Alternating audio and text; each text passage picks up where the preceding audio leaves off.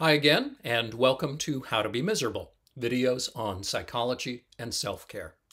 Today I'm going to teach you how to write your autobiography, and it'll only take you 10 minutes. Obviously, there's a catch. But first, consider subscribing for more posts on personal development, mental health, and communication. Now, in a previous post, I discussed something called a point form autobiography. You write all the years of your life into a notebook, leaving space under each one, and then you write in significant events under each year.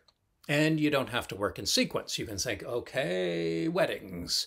Let's write in all the significant weddings. Oh, births. Oh, deaths. Oh, divorces. Oh, graduations, rejections, accidents, injuries, moves, career milestones, periods of anxiety or sadness, meeting significant friends for the first time, trips, you name it. And as you do this, at first, it feels like just a bunch of random events. Then you begin noticing things. That time when you were so anxious just seemed completely out of the blue. But then you see that there were three family deaths in the previous year, plus financial stress, plus you'd broken your leg and couldn't exercise. And some of it begins to make sense. If you keep at it, you can get a sense of the overall shape of your life.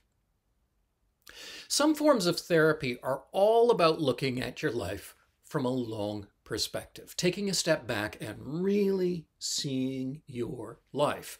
And what seems like a random series of trivial events can begin to take form. You can see patterns and shapes in your life, and that can help illuminate the situation you find yourself in now. And you can do much of this work yourself outside therapy though an external observer can help point out bits that are missing and changes in your life that seem unexplained and unexplored.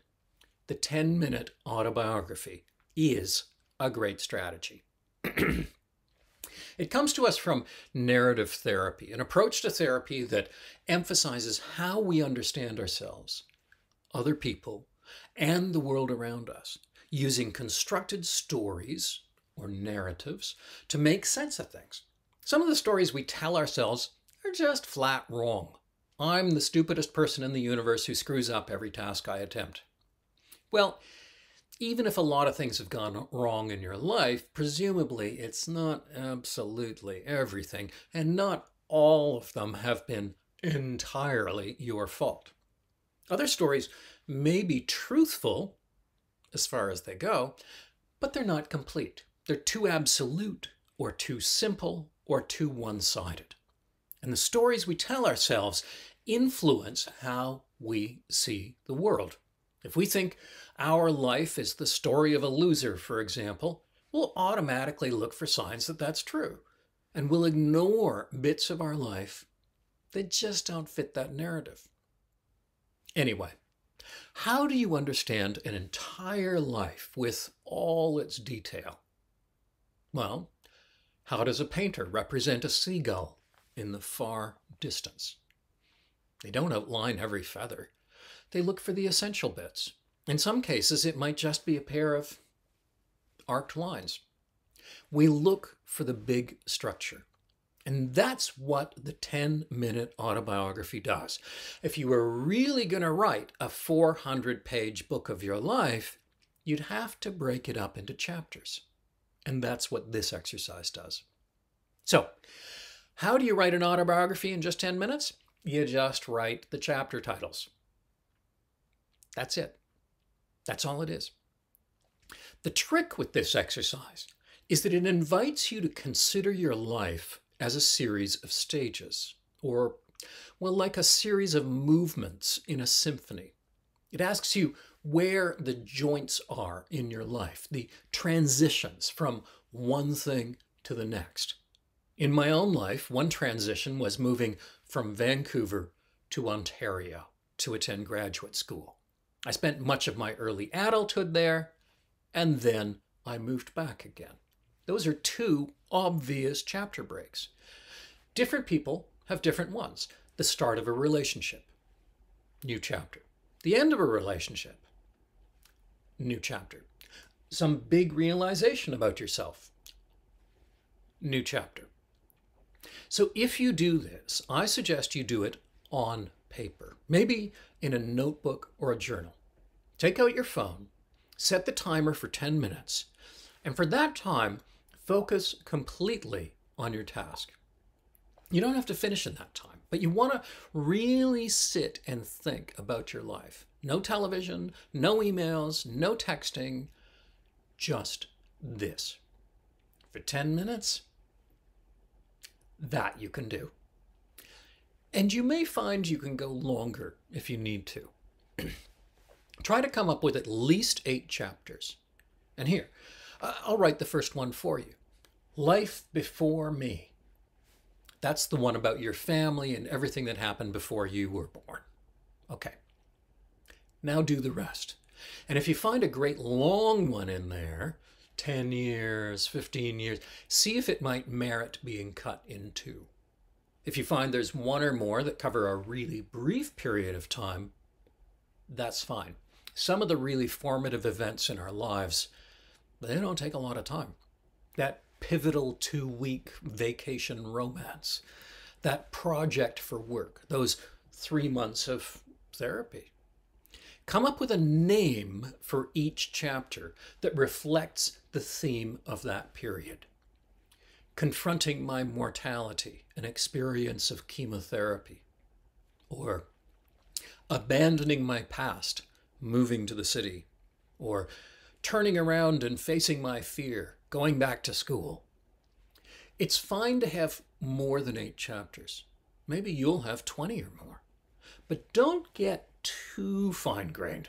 We're trying to see the big picture here overall themes, main efforts, big changes. If you have a chapter for every day of your life, you're missing the point. Obviously, this whole effort leads you to a certain point, the chapter you're now in. Name it. What's going on? What's the big task of this part of your life? What's the mission? Do you like this chapter? Where are you in it? Are you just at the beginning? Or has it gone on too long? Sometimes we realize that we've been stuck in the same chapter, even though really it's over. Some young adults, for example, they realize they're still living the life of a teenager, even though that period of their life is done. They're trying to keep that chapter going. But there's no more plot. Nothing's going on. The story continues in the next chapter. That's where the action is. It's time to bring this chapter to a close and really start that next one. Sometimes we worry that maybe there isn't another chapter. Maybe we're at the end of the book. This, this one, this was the good part.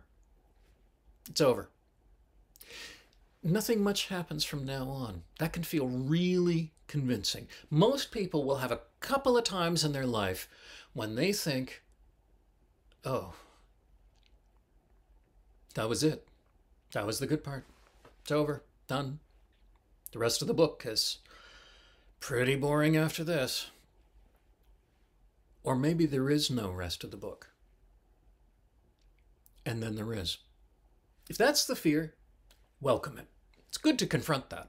Some of those young adults, for example, look at the adult lives of their parents and think, oh, yuck, who wants it? Mowing the lawn and watching Jeopardy for the rest of my life. That's a really boring chapter. I don't want to read it, let alone live it. Wonderful. What would you want that next chapter to look like? I looked at my own parents' lives and I thought, no, thank you. So I didn't live those chapters. I made ones of my own that suited me. At some point, this exercise forces you to confront something. You're the author of the book. It's up to you. Chance will play a role, but you have to steer the boat. So do something else. Write the name of the next chapter as well. What do you want that next one to be about? Where do you want the story of your life to go? Okay. What are you going to get out of this exercise? Well, here's the really unsatisfying part of this video. I haven't the slightest idea. Could be nothing. What have you lost? 10 minutes. I watched Interstellar. It cost me almost three hours. So, hey, 10 minutes? Whatever. But most people will get something. You'll see a pattern in your life, maybe one you like, maybe one you want to change, or you'll see more clearly the mission of the moment you know, or you'll see where you want to steer next.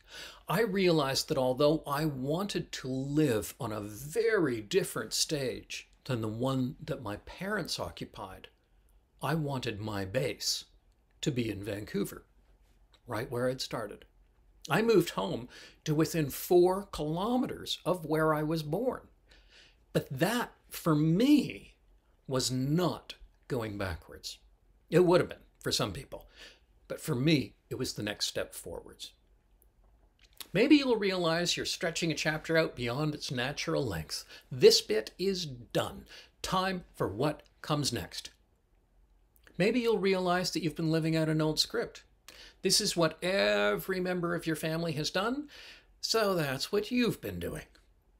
Or maybe you saw yourself as not very capable, so you've lived your life as though that was true. Maybe an old story has been influencing your choices and not in the best way. Maybe it's time to change the story.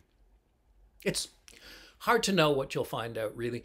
Chances are it'll be something, and you'll want to save that table of contents. You might be surprised how valuable it can be in thinking about your life and where you want it to go. Thanks for watching, and do consider subscribing if you want to see more like this.